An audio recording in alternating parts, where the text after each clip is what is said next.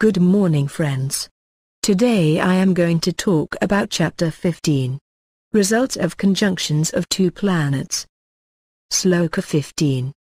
Mars-Venus Yoga 1. Who has Mars and Venus together at birth will be worshipped, be chief among his men, be a mathematician, or an astrologer, and be fond of gambling, untruth etc. Sloka 23. Whatever results have been stated as above are likely to become increased or decreased according to mutual good or bad Vargas occupied by the planets in question. Thank you. Bye bye.